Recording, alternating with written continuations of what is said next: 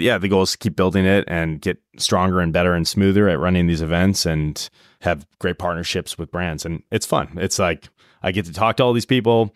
I know all the the lingo from years in the industry, and uh, I know I understand the troubles they have, and we get to taste a lot of awesome whiskey, which can't complain about that.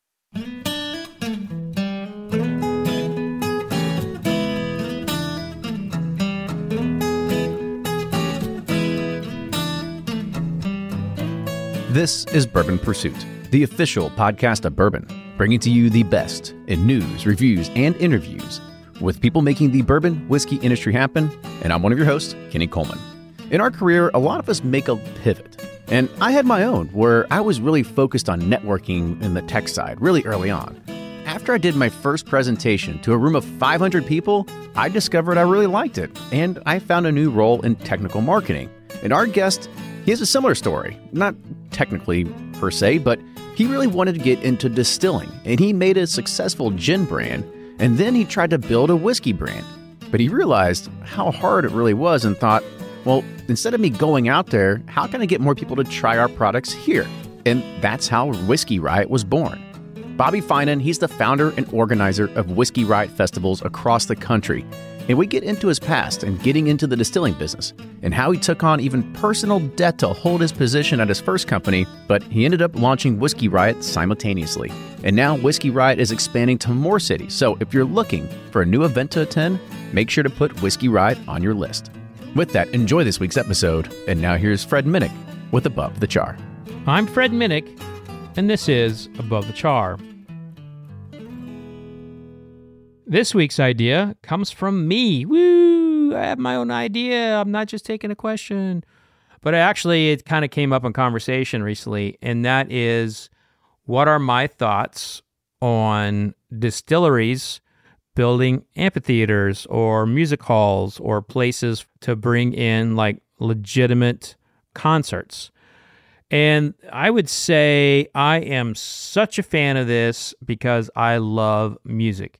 Now, there's not been a better distillery or a better example of someone focusing on music and concerts and creating a venue that is it feels so separate from the space that many managers and artists aren't even connecting the fact that it's at a distillery and that's log still log still with what they have done building an amphitheater out there in the middle of nowhere has been drawing real acts. I'm talking Buck Cherry, Elle King. These are major, major musicians. They've opened for the likes of Guns N' Roses. They've been on major bills like Bourbon and Beyond or Louder Than Life. They've played the Ryman, well, not Buckcherry. These are musicians that have played all over the world and they have huge fan bases and they've had number one hits. They've had top 10 hits. They hosted Gary Clark Jr. We, I think Gary Clark Jr. is amazing. They've hosted Grammy Award winners. You're looking at a place that is building a name for itself in the music industry, which I'm a part of. Like I'm loosely a part of the music industry. Like I have a lot of friends in the music business. I co-founded Bourbon and Beyond. I'm always talking to agents and managers. They ask me about things like this. They ask me like, "Hey, is this this is log still place? Is it legit? Because we got a lot of artists that are starting to play there." I feel like log still has built an example of what distilleries can do to separate themselves from a tourist perspective. Now, the rub on that is they were there first, and when there's another one that gets built, they're going to be hard to compete against within like 50 miles of that. Now, if you're a brand looking to build a distillery in Indiana, Colorado, places like that, there could be a, a pretty strong market there. But I think what Log Still and Wally has done, Wally Dant, the Dant family has done there, they've created something that nobody else was offering. And because that they were there first, they might have just cornered the market for legitimate amphitheater musical experiences in Kentucky. But I'm aware of a couple other distilleries. They've got a couple amphitheaters in mind for music and and hosting comedians and things like that. But I'm all for it. I like the idea of uh, bringing people to distilleries that are not necessarily there just to drink. And so that's kind of my thoughts. I'm all for music going to distilleries. I especially love it when I see A-list acts like Elle King and Buckcherry show up and do a show at a whiskey distillery. I think that's pretty cool. That's going to do it for this week's Above the Char. That was just a random conversation I had with friends, and I'm glad I was able to bring it to you. If you would like to hit me up with an idea for Above the Char, go to fredminnick.com. That's fredminnick.com. Click the contact button, and if I like the idea, I'll read it on the air. Till next week, cheers. From their bar to yours, Chad and Sarah of the popular YouTube channel It's Bourbon Night bring you their favorite at home old fashioned mix with the new Elemental Elixirs Golden Hour Syrup. It's a custom made syrup with notes of bold black tea, warm spices, and orange zest. All you need is your favorite whiskey and ice. No bitters needed. One bottle makes 16 drinks, so that's only $1 cocktail before you add your own whiskey. They can also be enjoyed in other cocktails or spirits, mocktails, coffee, tea, and anything you can think of. It's crafted locally in Lexington, Kentucky, and you can get your bottle now at whiskeyambitions.com. Always find what you love at Total Wine and More. With so many great bottles to choose from at the lowest price, it's easy to find your favorite Cabernet or a new single barrel bourbon to try with some help from one of their friendly guides. And with every bottle comes the confidence of knowing you just found something amazing. With the lowest prices for over 30 years, find what you love and love what you find only at Total Wine and More. Curbside pickup and delivery available in most areas. Visit TotalWine.com to learn more. Spirits not sold in Virginia and North Carolina. Drink responsibly and B21. Ed Bly and Rising Tide Spirits are back again with a new release of Old Stubborn Bourbon. And this release of Old Stubborn is a premium hand marriage of 10, 11, and 12 year cask strength, barely filtered pot still bourbon. It comes in at a staggering 123.8 proof.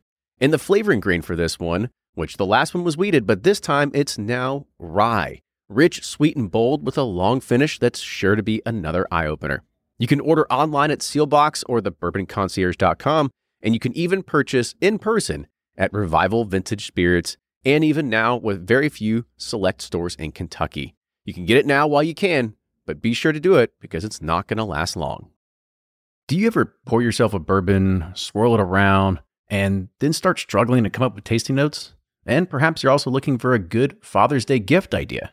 Well, you can now solve both with a kit from Nose Your Bourbon. And unlike other nosing kits on the market, Nose Your Bourbon kits feature real ingredients for the most authentic aromas. You can smell real Tahitian vanilla bean instead of some synthetic aroma that's just made from chemicals. So head on over to noseyourbourbon.com and enter code BP10 for 10% off your order. Play Whiskey Wednesday, round 11, the memory game. Until June 26, each week you can win one of our 12 incredible grand prizes. Select two doors at checkout. And if they match on drawing night, you'll win that bottle. Not a match? No worries. You still score a Weller 12 year. Every $5 ticket gives you five chances to win, including four weekly bonus prizes. Get your tickets now at give270.org. Charitable Gaming License ORG 0002703.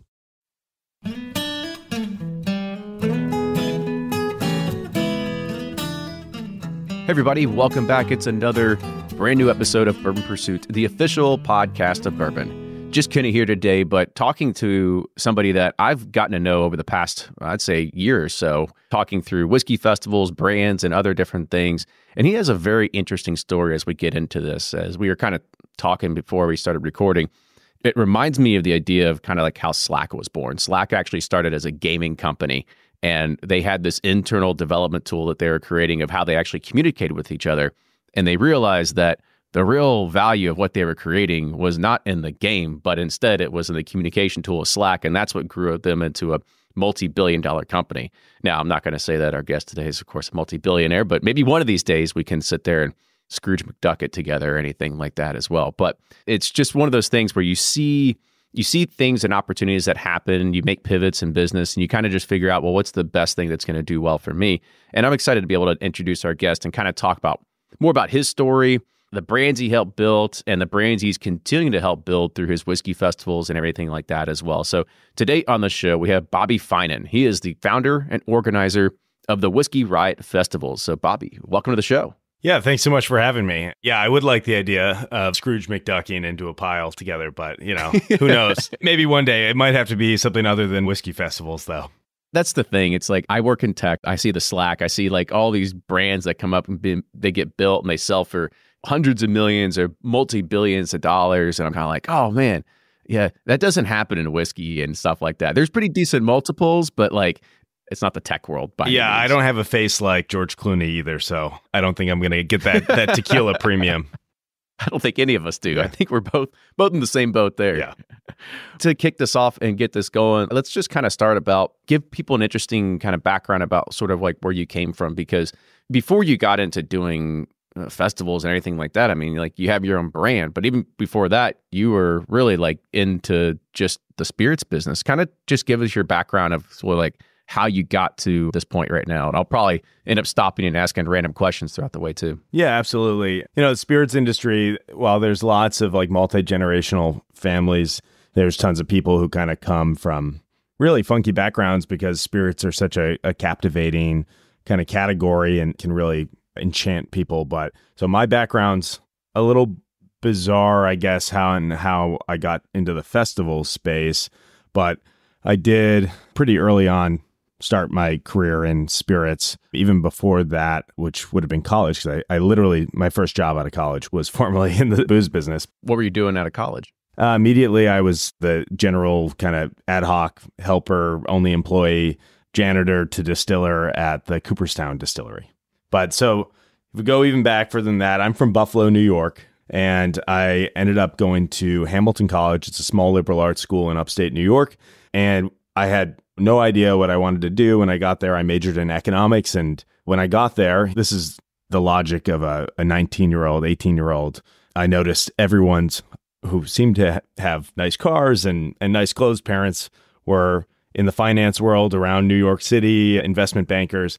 There really aren't investment bankers in New York City. So at 18, I was like, I don't know what that is, but I want to do that. So I, that speaks to how totally naive and innocent it was. I was an economics major and ended up getting an internship at Citigroup in their consumer products investment banking division. And it was there that I got turned on to all the craft beer acquisitions that were happening at the time. This would have been around 2012, 2013, or 2011, 2012. Was this like when Anchor and yeah, all that sort of stuff that was going for crazy amounts? Yeah, it was. It was like Anheuser-Busch was executing a strategy where they were trying to get like the regional powerhouse brands. So like Goose Island was the Midwest, and like got one down in Florida.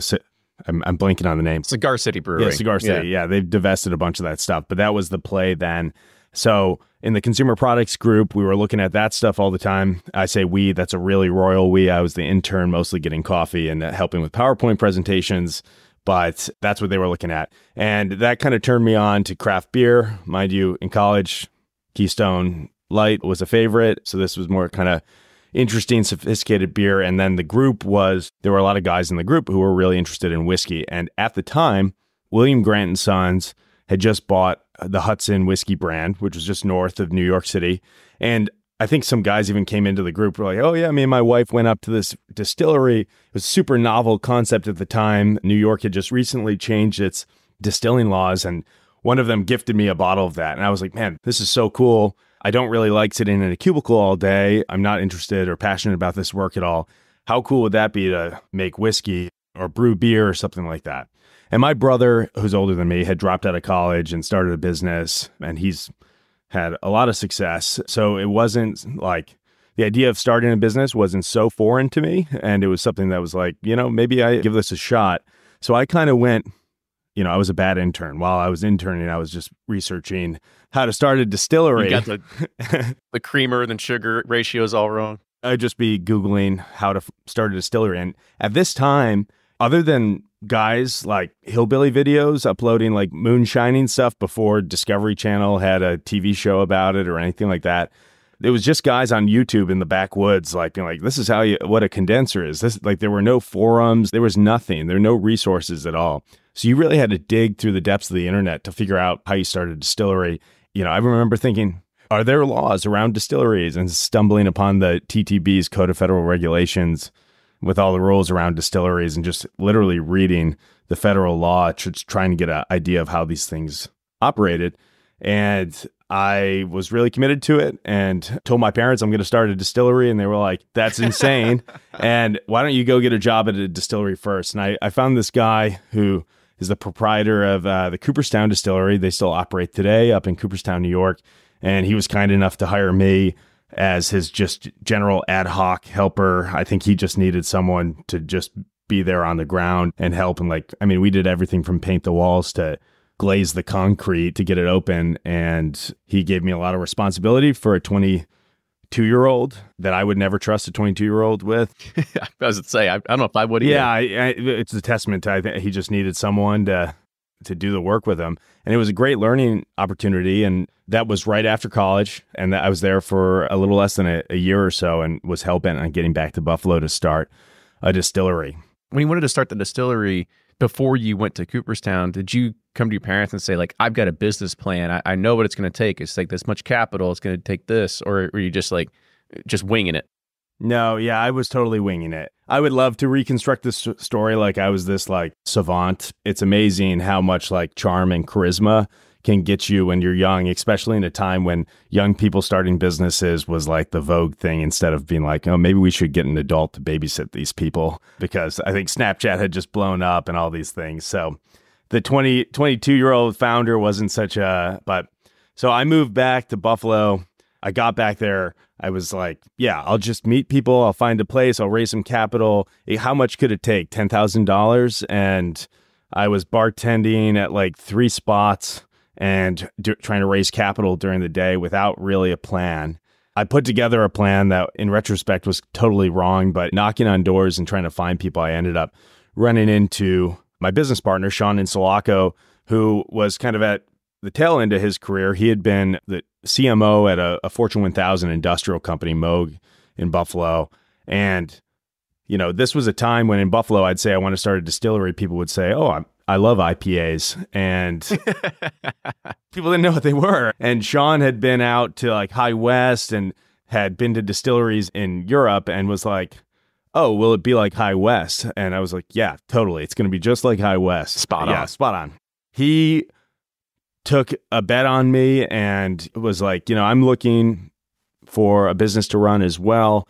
What if I became your business partner? I'll help put some like corporate structure around this. I was 23. I wanted to do my own thing. But in chatting with him, I realized I really didn't know what the hell I was gonna, doing, that we needed a lot more cash, probably needed to be an adult in the room at the time. But I knew how to make the product. I knew all the regulatory, kind of all the hurdles we had to get through. And Sean kind of helped pull together the capital and was a fantastic business partner that really made it happen. I think I probably would have been stuck in the dreamer phase for a while if he hadn't taken a bet on me. And what was it like to start? Did you have an idea of the products that you were going to sell, what you were going to distill, what were you going to do, the brand names, like what was even going to be called?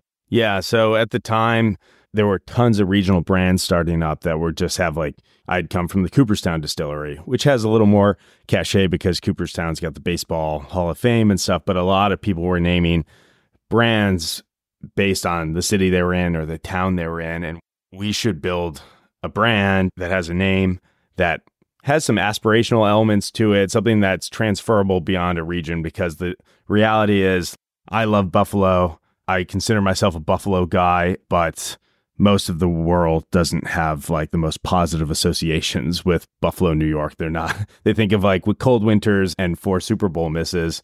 They're not like, gee, I really want to buy a bourbon from Buffalo, New York. So we were looking for something that maybe had a, a nod to the region and spoke to something more aspirational that was kind of in line with our philosophies. And we came across the Tommy Rotter story, which was a group of artists in Buffalo, early 1900s, who were committed to the arts and crafts. They lived in uh, arts and crafts focused commune out in the woods outside of the city, but would sneak off during the workday, drink a little bit, get into trouble. We're really kind of independent minded individuals. And we liked that idea that it's kind of this equal like work and play mentality.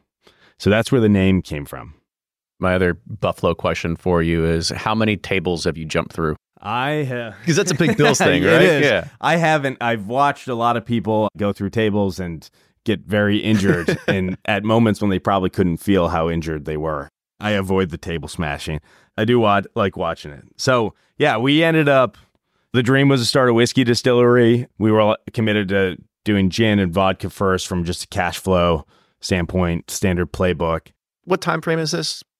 This is by the time we opened the doors, got through all the red tape, you know, raised capital, got the facility set up. We opened the doors in July 2015. So I got back to Buffalo in early 2014. So it took about a year and a half to raise capital and get through all the state and federal, get stills brought in. And we came out with a gin and vodka with the intent of getting into bourbon. We didn't want to do all the mashing and stuff in house. We were going to have breweries with excess capacity do our mashing for us, and then we'd do the distilling on site. And the gin just took off. It did really well for us. Tommy Rotter American Gin, green label. I've seen it before. It's around for sure. And upstate New York, it, it, it's really strong. We just never got around to making the bourbon. And by the time it was time to make the bourbon, most of the breweries had gotten mature enough and gotten into distribution. They were like, no, we don't have excess tanks to make your mash for pennies on the dollar, whatever you want it for. So the bourbon got really sidelined for a number of years. And we built the gin business pretty much. We ended up operating in whiskey by 2017 or so in a non-distiller producer capacity. We are sourcing from like MGP and Dickel and doing some blending. And we had our own sales team. We were in like nine or seven states or so across the Northeast. We had a sales team of five. And, you know, we ran into the issues that every distillery does, like sales don't scale as fast, making bets that new products are going to ramp as quickly as the core product you had success with. And the gin kind of just always was the strong player, and we couldn't build the bourbon business fast enough. And we ended up in 2019 shedding our sales team and partnering with Palm Bay International. So, Palm Bay, family owned importer, very large supplier, not the mega suppliers like the Diageos and Pernods of the world, but quite large. They mostly import Italian and French wines and are, are building out their premium spirits book. They have a sales team across the U.S., strong relationships with Southern Glazer's and RNDC, and a number of independent distributors in franchise states, and they kind of took us in as a portfolio company. So if you imagine it, it's almost a fourth tier of distribution, formerly called a broker agent relationship. But we sell to them, they sell to the distributor, they the distributor sells to the retailer, sells to the consumer. And while you're very far back on the value chain in that scenario, we were able to shed the overhead of a sales force and everything, and then be able to leverage some of their political capital within these crowded distributors. So this is all Tommy Rotter whiskey riots kind of happening during this. I kind of just curious on, on the gin side. Do you know? I mean, you said it took off. Like, do you know what it was about it? Was it the name? Were you doing a ton of marketing? Was it branding? Like, what really was it that took off for you? Yeah, absolutely. So, you know, this would be interesting if anyone who's listening is building a brand. So, one thing that we did really well, I can't take credit for this. I made a great product. It was my recipe and stuff, but my business partner Sean was the CMO of this large Fortune 1000 global company and had managed distribution. I think it was at time like 200 distributors over 40 countries or something like a massive scale. And he just kind of knew some of the pitfalls to and best practices to employ before we set out. So there wasn't, while there's certainly a spirits learning curve, he just had us approach it much more sophisticated than I would have been able to do it at 23, 24 25 years old. What we did that really, I think, strengthened the gin's growth was first, we had, had a lot of capital. We had a strong investor core, so we didn't have to run the business profitable in the early years. That always helps. But then, are you spending on the right thing? So, what Sean would do from just a distribution management standpoint is we'd enter a relationship with a new distributor, pull down a book of business, and then we would literally sit and be like, okay, what accounts are we going to sell product in this year?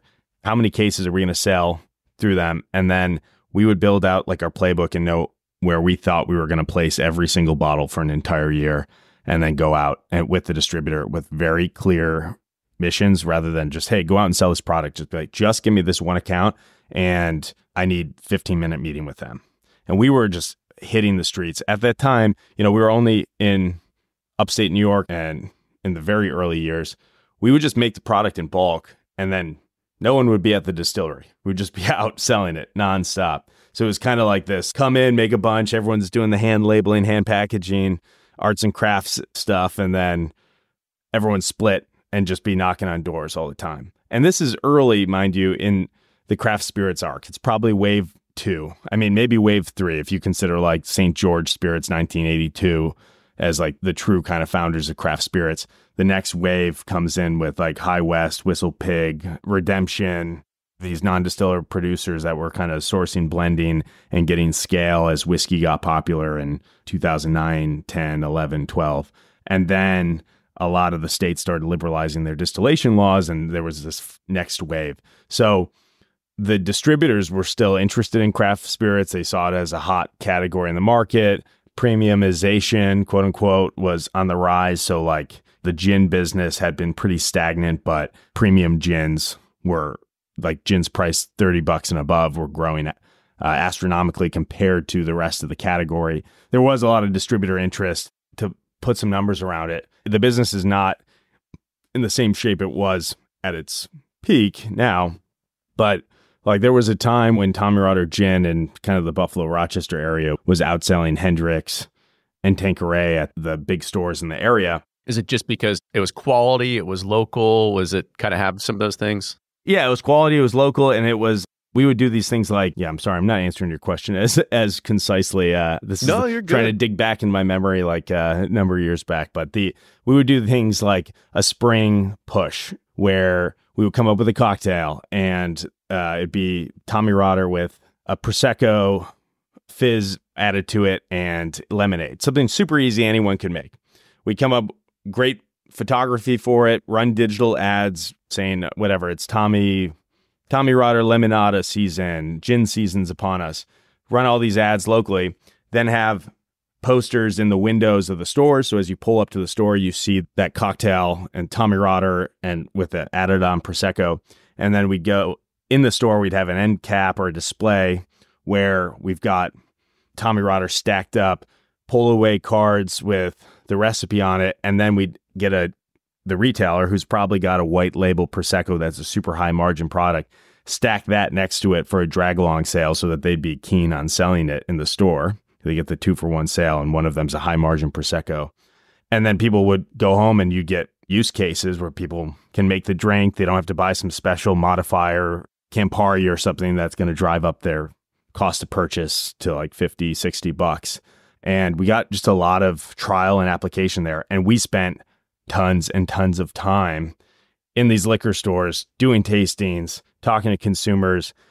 It was success that was really amazing in a concentrated area, but as we would learn down the road, extremely hard to scale over a vast territory. We weren't able to replicate that success elsewhere, but the immense success we had in this tight area was enough to get a lot of distributor attention and a relationship going with Palm Bay International.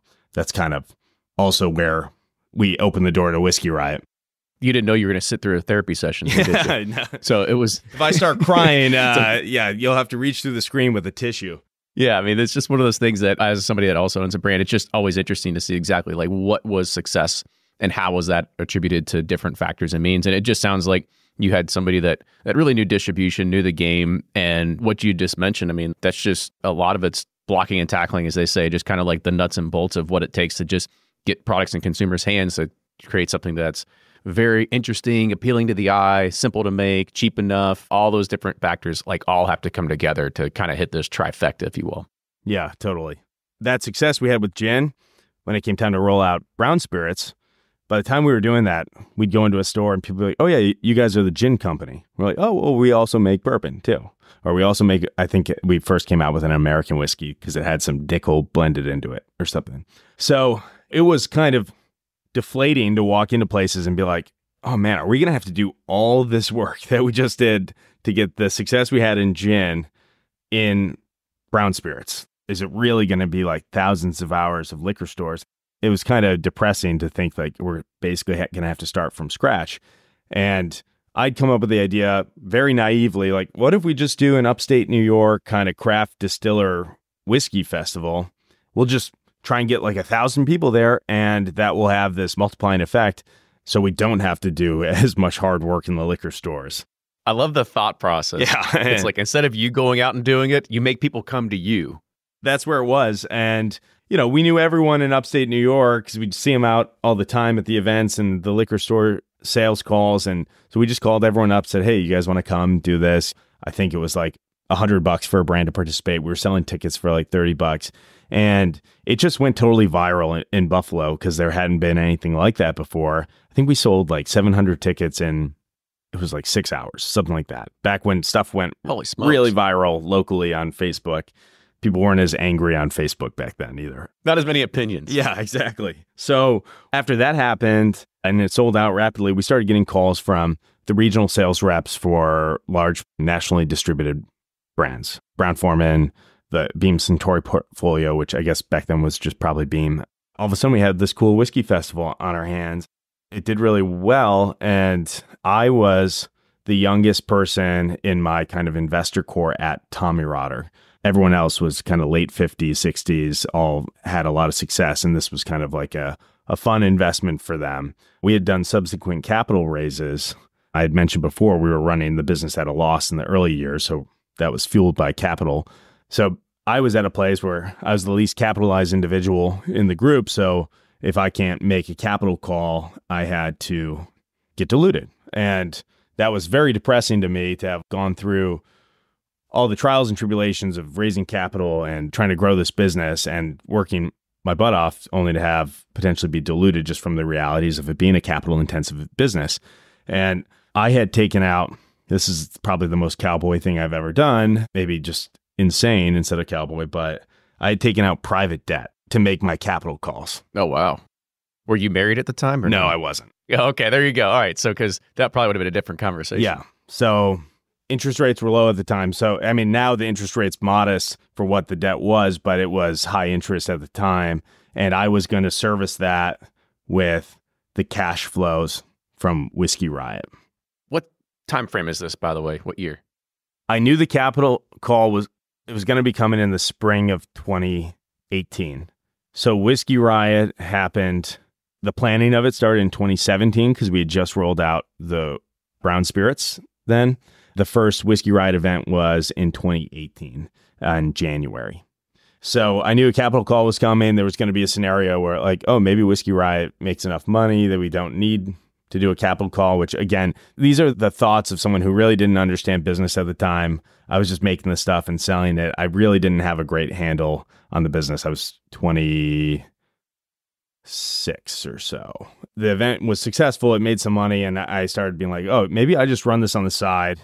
Then I can take on some personal debt so I don't get diluted at Tommy Rotter and I will service that debt with the cash flows of Whiskey Riot. Really insane stuff. Yeah, I was about to say because was the original intent to say that well maybe Whiskey Riot can help basically fund everything that's happening at Tommy Rotter, so you wouldn't have to get diluted. Was that the main thought process first? That was like kind of one of the early thoughts, and we never had a hospitality business at Tommy Rotter, where most of the our regional competitors had like a pub or a bar, and they'd get the high margin cocktail sales because they were supplying the the booze themselves and selling 10 12 dollar cocktails and that was kind of their capital source to cash flow the business. So they didn't have to rely on investor capital as much. We were only a wholesale operation. We never had that hospitality component.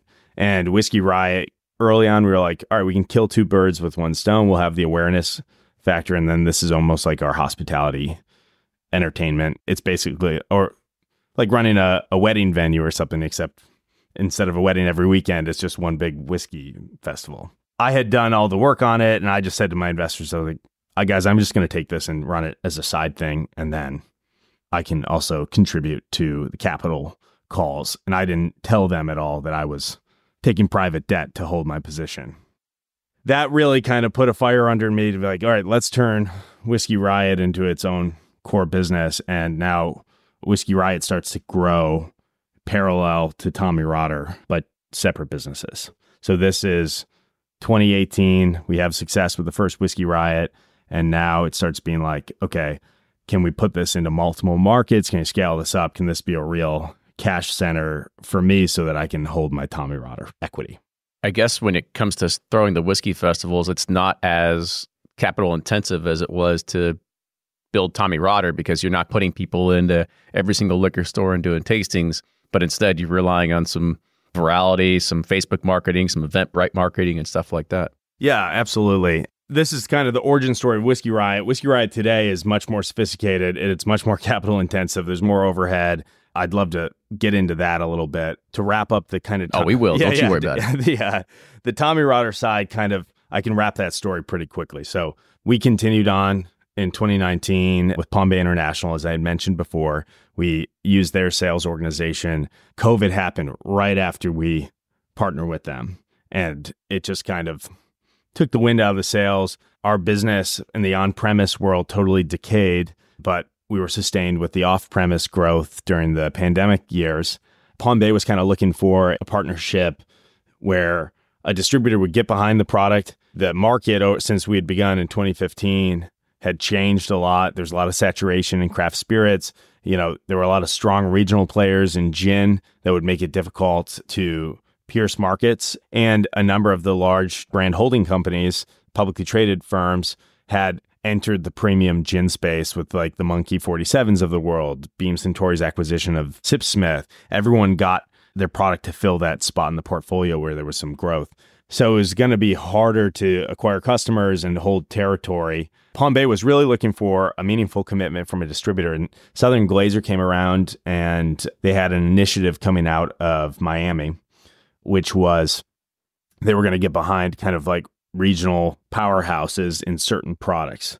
And Tommy Rotter had a lot of strength in the New York market upstate, which people think were kind of like hillbillies up north of New York City, but the entire upstate market is big as metro New York. It's one half of the state. It's just spread out over a vast territory.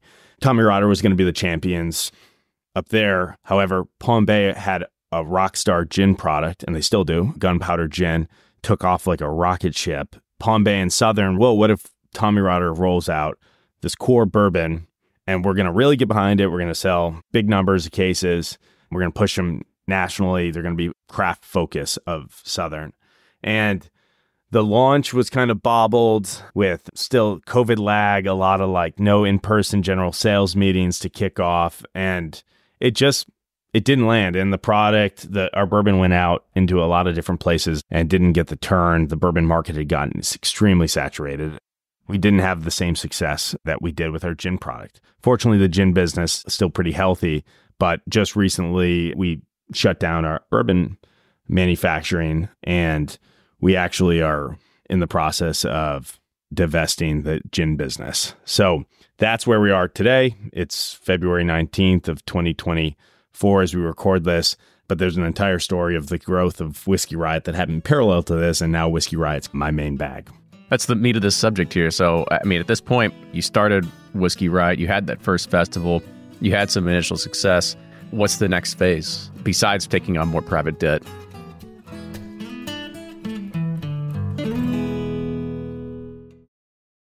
Shopify's already taken the cash register online, helping millions sell billions around the world.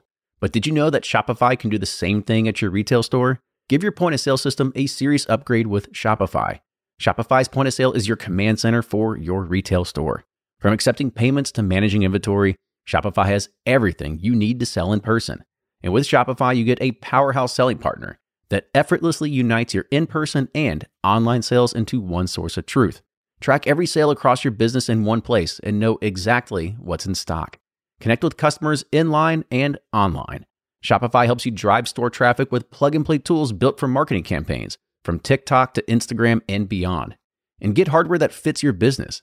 Take payments by smartphone, transform your tablet into a point of sale system, or use Shopify's point of sale Go mobile device for a battle tested solution. Plus, Shopify's award winning 24 7 help is there to support your success every step of the way. Do retail right with Shopify. Sign up for a $1 per month trial period at shopify.com slash bourbon, all lowercase, and go to shopify.com slash bourbon to take your retail business to the next level today. Shopify.com slash bourbon. If you're anything like me, then you can't get enough about bourbon. And that's why I'm a subscriber to Bourbon Plus magazine. Bourbon Plus is a quarterly publication that tells the stories from the heart of bourbon the farmers who grow the grain, the distillers who labor over the process, and the people like you and me who raise their glasses to celebrate it all. Subscribe to Bourbon Plus magazine today at bourbonplus.com. That's P L U S.com and use code PURSUIT at checkout for $5 off your subscription.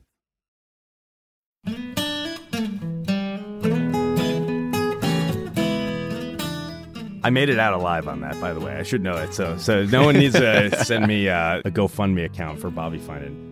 So, rewind. We have the first successful event in Whiskey Riot, and immediately, just because I hadn't been all around the country yet, that partnership with Southern through Tommy Rotter took me to tons and tons of states. I feel like I just saw so much of the country and saw so much opportunity during that phase. In 2018, it was very much Northeast oriented.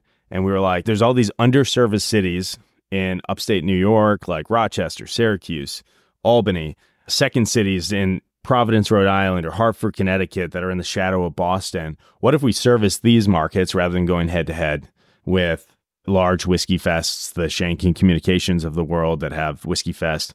Oh, by the way, it was originally called Buffalo Whiskey Fest, and we got a cease and desist. So that's where the Whiskey Riot name was born.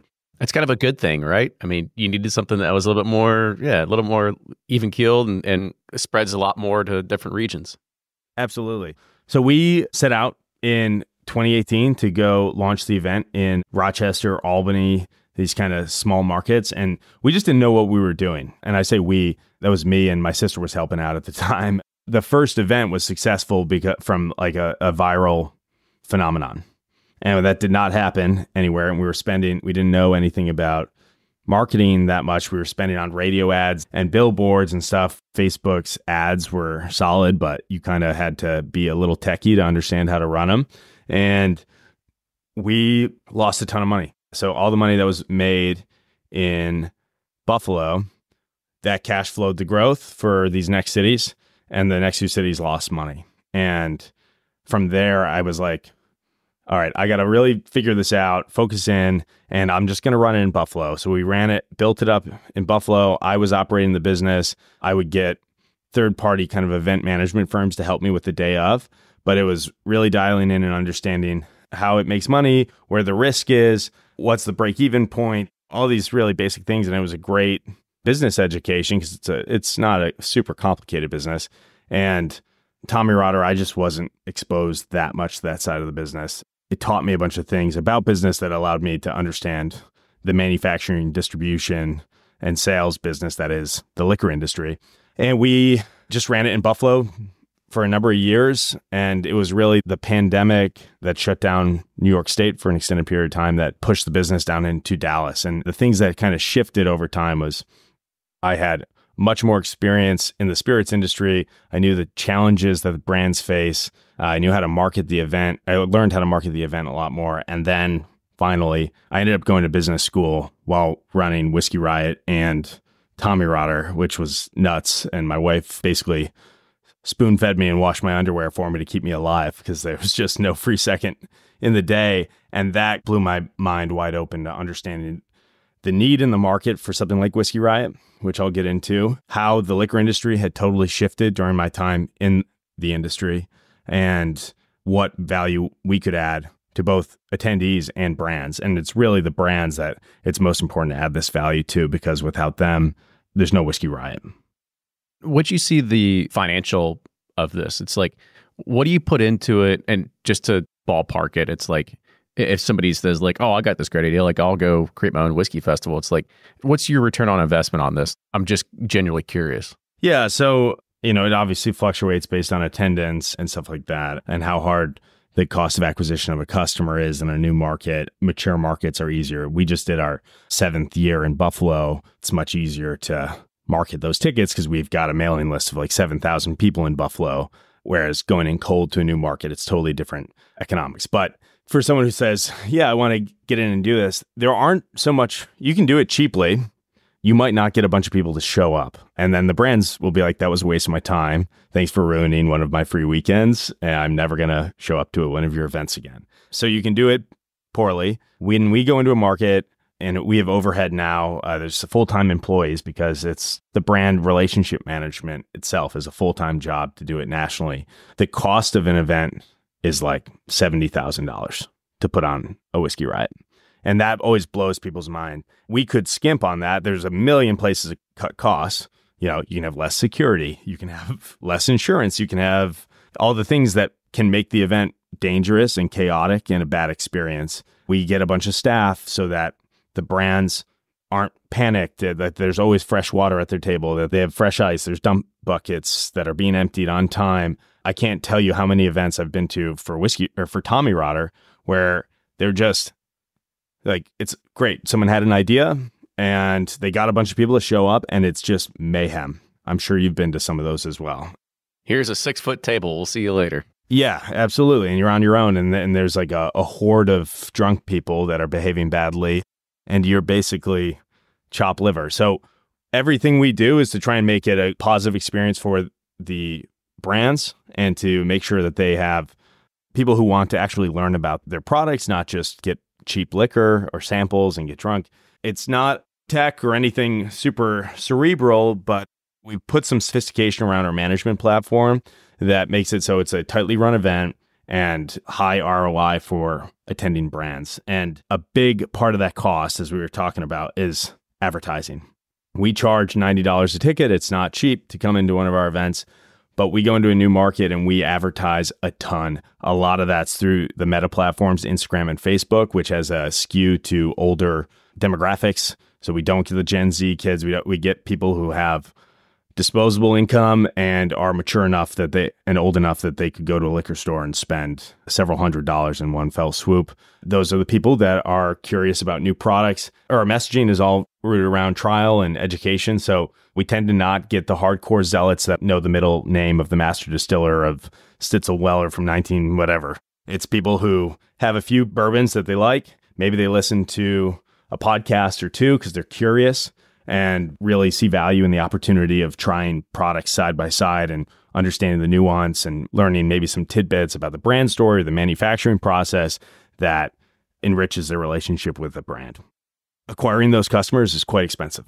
At like a new market, it can cost $25 in advertising alone to sell a ticket what does it look like for you to sit there and because right now like whiskey riot you're expanding right? Like you're going into more cities more different places. For you what's it look like to evaluate a city to say hey this is a place where we could do something at yeah so we go into a, a market and there's always some friction when it's a new place. The local regulators might not be used to someone operating like the way we do or the distributors don't understand how we're operating but so we look at the regulatory environment number one so that clears a bunch of states off the board, like control states.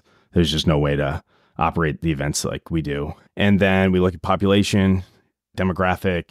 Part of it is like, are there enough people who are 30 and up in the city with disposable income? We don't want to be like in Brooklyn and have selling tickets on Groupon for, I mean, Brooklyn's matured, I guess, from where it was when Brooklyn blew up, but we don't want 22 year olds walking in thinking it's a party the name Whiskey Riot sounds fun. That's for marketing cachet, but it's supposed to be educational. No one's supposed to be behaving poorly. Everyone's supposed to be respectful of these brands that are dedicating their time to get their message out.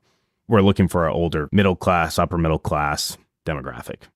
I know that our ambassadors that have been to the Whiskey Riot Festival, because of course Pursuit Spirits has been at a few of them last year and will be at more of them this year. And they've always had a good time. They always say that it's quality people that come. You're getting i would say good leads but you're getting curious interested people that are there to that really want to try a lot of new stuff. And i guess that's the thing is is how have you pitched this to other brands? Because for us i look at it as a, probably the best opportunity for us to get in front of new people as a small brand. That's the best way to do it versus somebody like when i go to places and i'll see there'll be a booth that where makers markers there and i'm like doesn't everybody already know Maker's Mark like what what else is i don't understand why they're here like why do they waste their marketing budget kind of give me your thought process on a legacy brand versus somebody that's new and upcoming. Yeah, absolutely. So the legacy brands want to be out there. They have the budget, but it's more to hold market share. they're not present, they will fade. And a lot of them are pushing out products that are kind of more premium, single barrel releases or small batch releases, whatever, special wood finishes that they're trying to get out. So they put those out there just to launch new products and they use this as a vector for a launch. So like for example, William Grant and Sons owns Tullamore Dew is coming out with a, a, flavored profile. Like that's a perfect opportunity where they'd allocate money to Whiskey Riot because they want to just get trial in a large format. Others are much more just looking to hold territory. For new brands, the messaging is all about building relationships direct with consumer. And I'm going to get into that. But before I do, just I want to make one note. I think one thing that we really stress when we're talking to brands is like, I've been 10 years a small business owner in the liquor industry. I've spent, I can't tell you how many hours at events. And for a long time during Tommy Rotter, my wife and I, my now wife, were doing a long distance relationship. She was living in Manhattan, and I'd go back and forth between Buffalo and New York.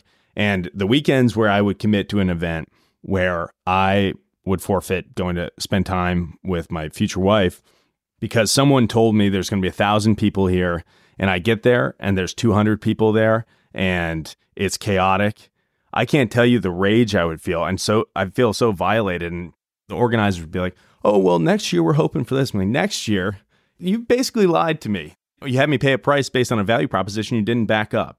At the end of the day, no one had any bad intentions, but you did waste time and money for people who are forfeiting their free time and trying to grow their business.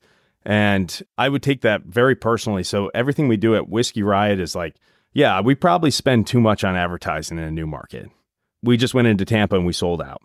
We don't do the discounting nonsense, fire sailing stuff just to fill it up because you're going to get attendees who don't value what they paid for and are going to behave poorly and they're not going to be of value to the attendees. So that's something I feel really passionate about and I think I get that across in the product that we deliver and in our sales pitch to brands because everyone's done that. Everyone feels that if you sell liquor that you've been kind of used for entertainment and someone didn't deliver on that and it's a crappy feeling. On the other end of that, the sales pitch is like, look, the distribution industry has changed over the last 15 years. And I'm going to get into that a lot. I think it's kind of interesting for listeners because it's something you don't really see. As a general consumer, you go to a liquor store, your point of contact for buying products is the liquor store salesperson, maybe you got a relationship with, and maybe you know the regional Beam Suntory guy who hooks you up with some swag every once in a while. That's it. Behind the scenes is this complex industry, the distribution tier of the three tier system, and that's changed drastically over the last 10 to 15 years.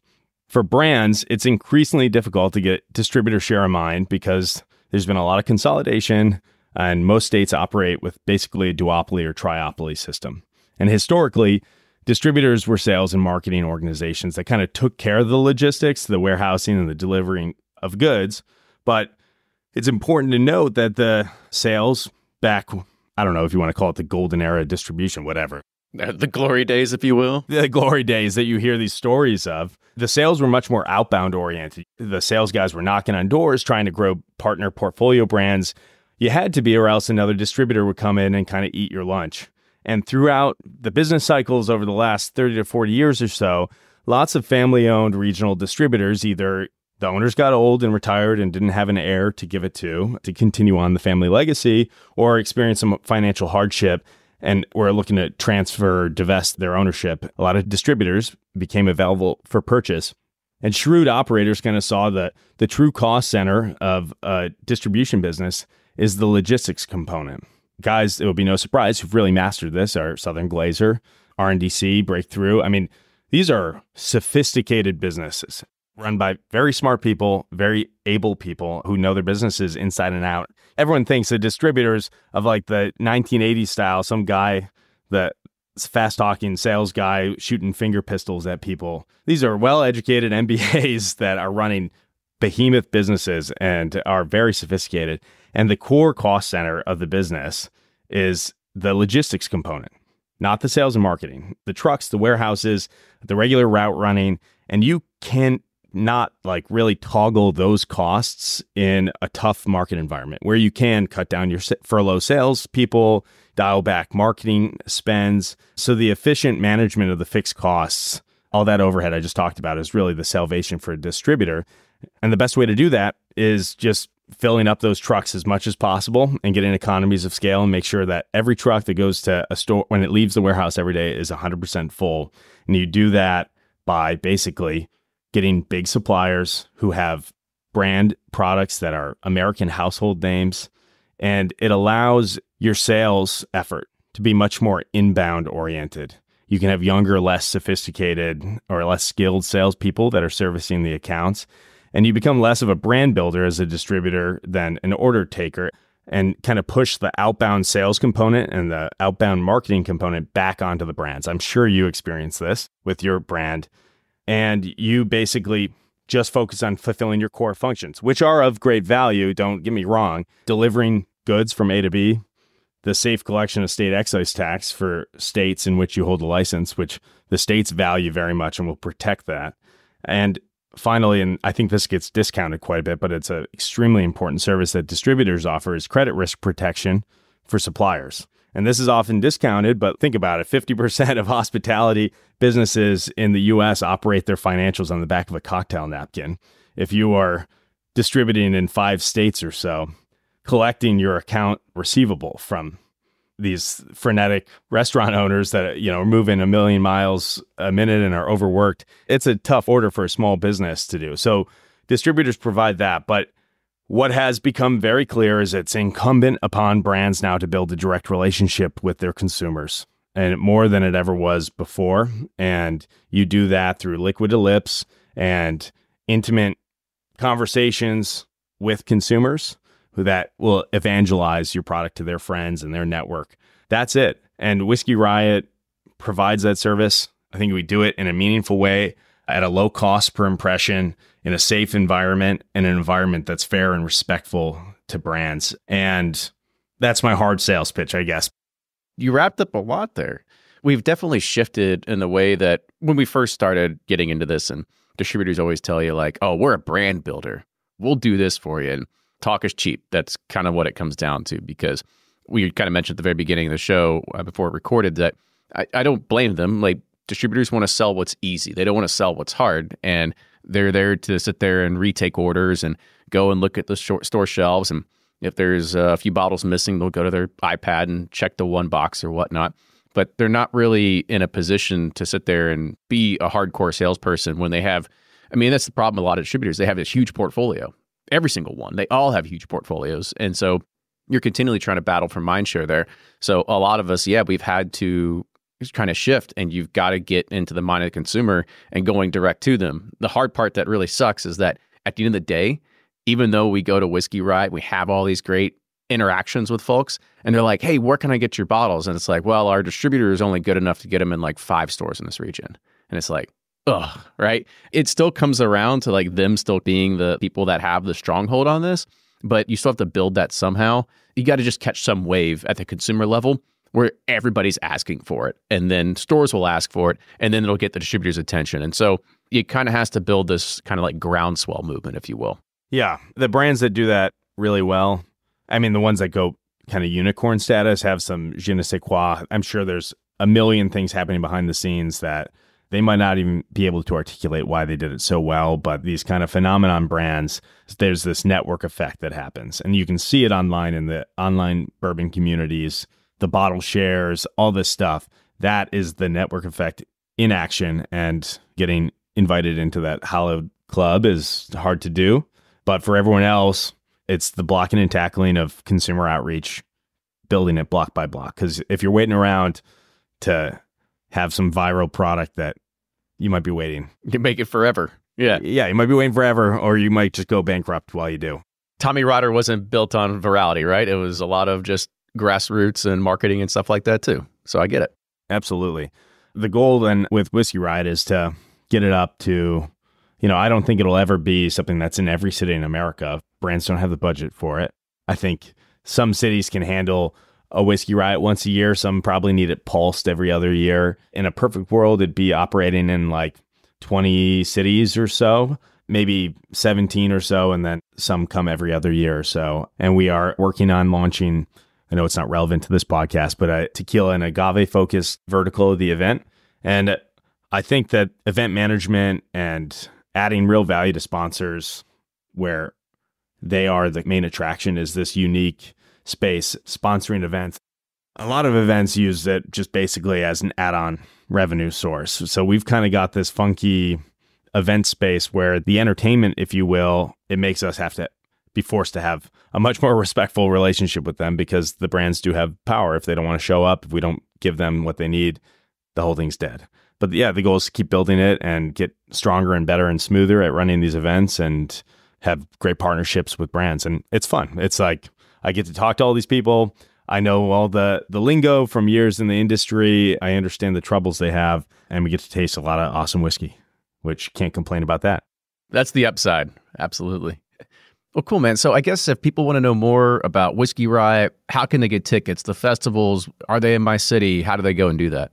Yeah, so we have it all on our website, our ticketing partners Tixr. So if you go to our website, www.whiskeyriot.com, it's got the calendar for the year. Normally we're pushing out like a year's calendar in October the previous year. So 2024 is all listed out. There won't be any new surprises popping up as additional cities in 2024.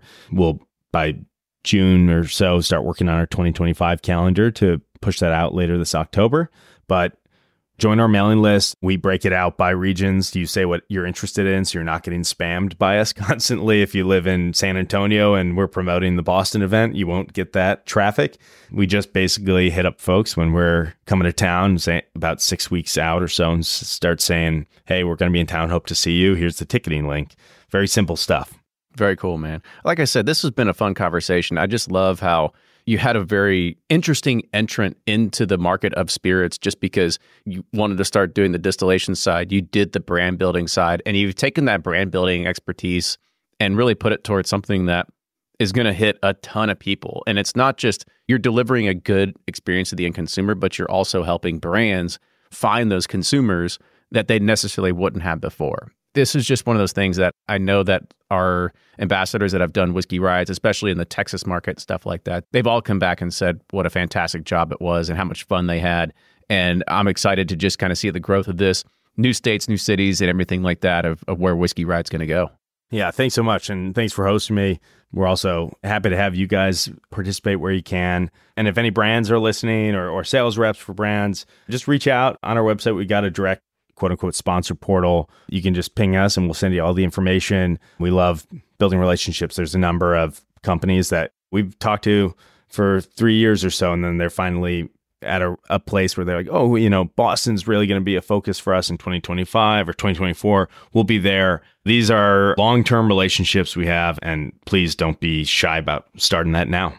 Very awesome. Well, Bobby, thank you again for coming on the show today. And if you're out there and you're interested about this, we always say that whiskey festivals in general is a, just a good place to go to not only just congregate around like-minded people, but you know you get an opportunity to try all kinds of stuff that you never would have before. So make sure you check out and see if a whiskey riot festival will be in your neck of the woods soon. Also, follow Bourbon Pursuit wherever you get your podcasts. Leave us a review. Don't leave us a review. That's fine. At least share it with a friend. And buy your friend also a ticket to Whiskey Riot Festival. But with that, cheers, everybody. We'll see you next time.